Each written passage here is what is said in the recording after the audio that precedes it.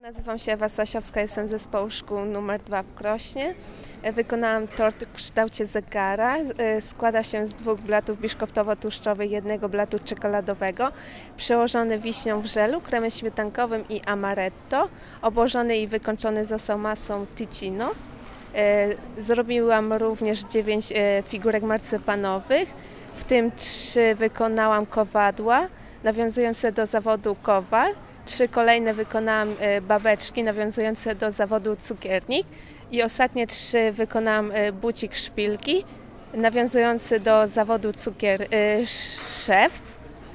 Wykonałam również e, 10 bankietówek składających się ze spodów biszkoptowych przełożonych o dwóch smakach musów wykończonym żelem dekoracyjnym, bitą śmietaną, czekoladą, e, czekoladką dekoracyjną i owocami takimi jak pomarańcza i wiśnia kandyzowana.